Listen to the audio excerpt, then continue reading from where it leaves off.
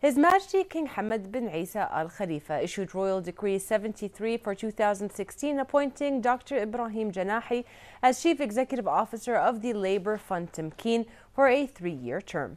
He also issued Royal Decree 74 appointing Muhammad Al Qaid as Chief Executive Officer of the Information and E-Government Authority with the rank of Under Secretary.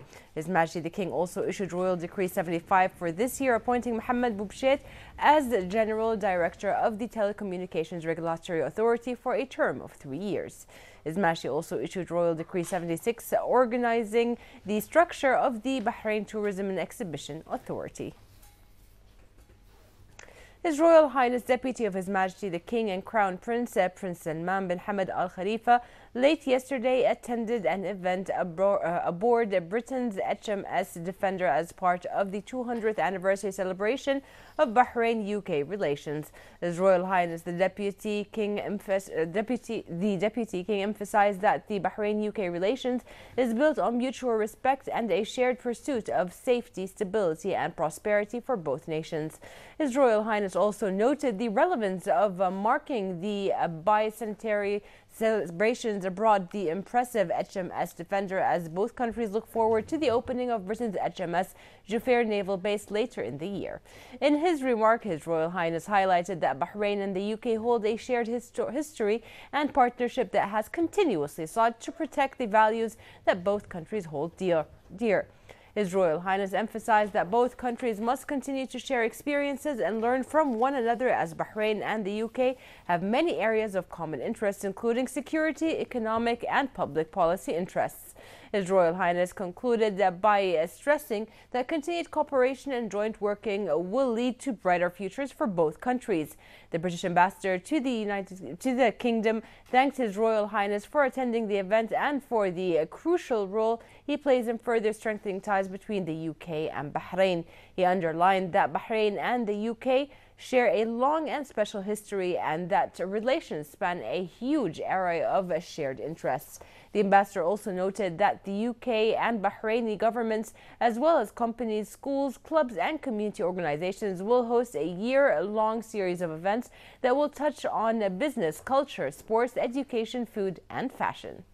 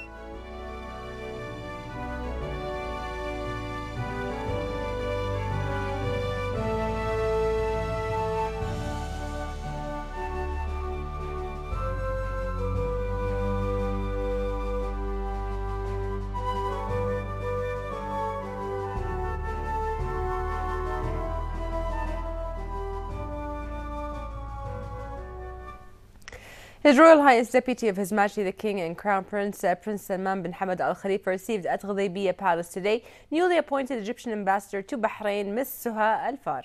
His Royal Highness highlighted the deep rooted historic relations between Bahrain and Egypt and pointed out the two countries' keenness to reinforce joint cooperation to achieve the best interest of both countries and people. He wished the newly appointed Egyptian diplomat success in performing her duties and consolidate joint cooperation, stressing the role of Egypt in supporting Arab solidarity in addition to its tremendous, tremendous efforts in dealing with all challenges facing the nation, specifically the danger of terrorism. His Royal Highness Deputy of His Majesty the King said the strong bonds between the two countries supported the bilateral relations and strategic ties in light of exchanging official visits, which enhanced economic and investment cooperation in addition to other fields. For her part, Ms. Alfar expressed thanks and appreciation to His Royal Highness for his care and interest to further strengthen bilateral relations in all fields, confirming keenness to contribute through its term in Bahrain to promote joint cooperation.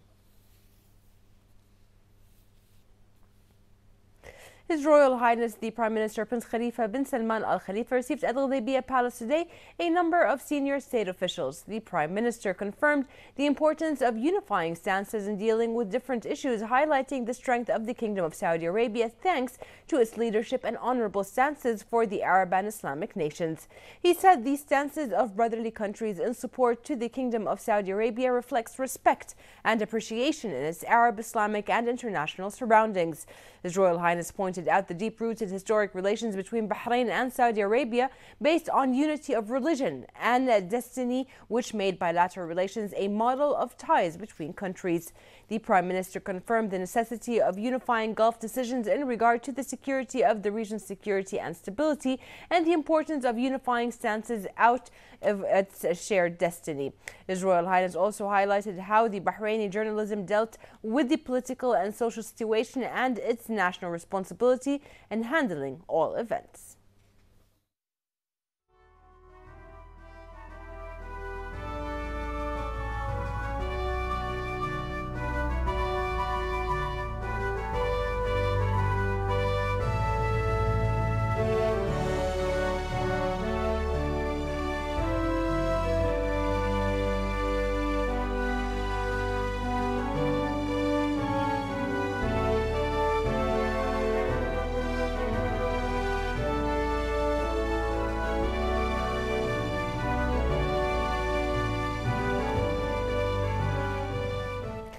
His Royal Highness the Prime Minister Prince Khalifa bin Salman Al Khalifa received at Ghudaybiya Palace today newly appointed Egyptian ambassador to Bahrain, Ms. Suha Al Far. His Royal Highness confirmed the deep-rooted historic relations between the Kingdom of Bahrain and the Republic of Egypt and the ongoing development in joint cooperation in all fields. The Prime Minister expressed Bahrain's keenness to further enhance cooperation and coordination and pointed out support to the newly appointed ambassador for all governmental bodies, wishing her success in performing her diplomatic duty. For her part, the Egyptian ambassador expressed thanks and appreciation to, her, to His Royal Highness, the Prime Minister, highlighting his keenness to consolidate cooperation in all fields. She also expressed pleasure in working in the kingdom, uh, taking into consideration the deep rooted bilateral relations.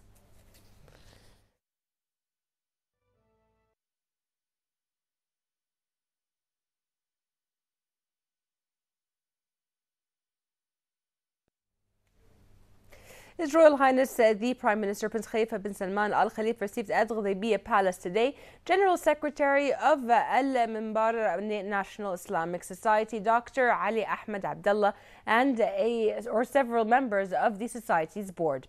His Royal Highness confirmed the government's keenness to support the work of societies and civil society institutions to perform their national role in supporting the development and modernization process of the kingdom.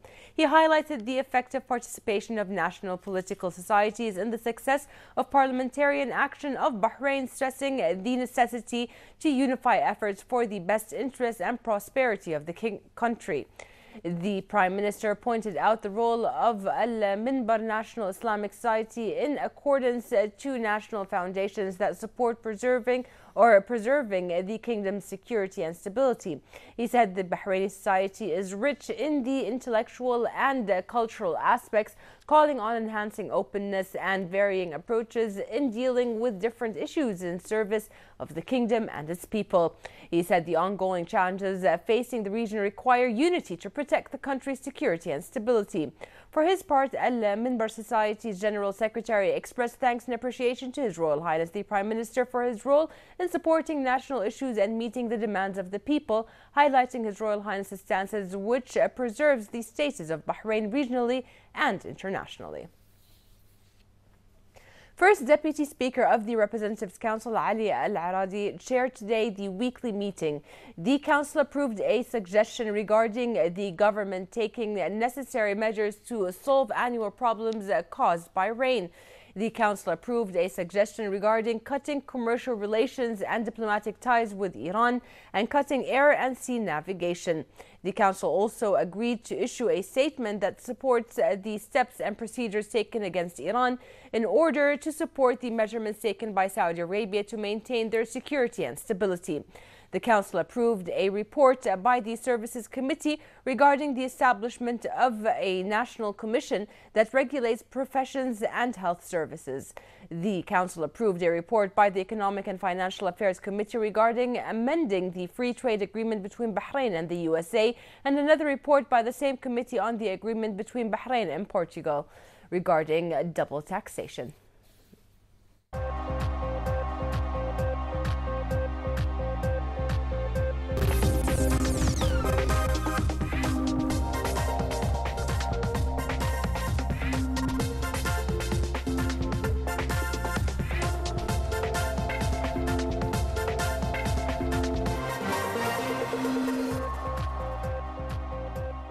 Good evening and welcome to the business news on Bahrain TV.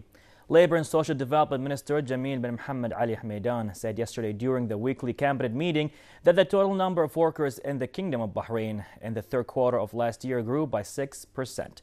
He added that the number of national workers registered with the General Organization of Social Insurance, GOSI, increased to more than 158,182 by the end of the third quarter last year.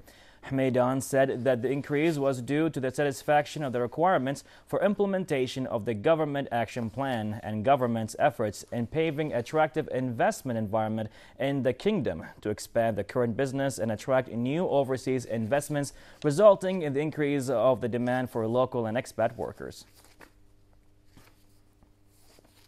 The Central Bank of Bahrain CBB announced today that this week's 70 million Bahraini dinars issue of government treasury bills, which is issued on behalf of the government of Bahrain, has been fully subscribed by 136%. The weighted average rate of interest is 1.86% compared to 1.83% for the last issue, which was on the 30th of December. The Bahrain All-Share Index closed today at 1,210.03 points, a decrease of 3.08 points of yesterday's previous closing. The fall was in the industrial and commercial banking sector. Investors traded mainly in the commercial banking, uh, representing 90% of the total value of shares traded. Results indicated that 60 equity transactions uh, took place with a volume of 761,208 shares, worth a total value of 142,297 Bahraini dinars.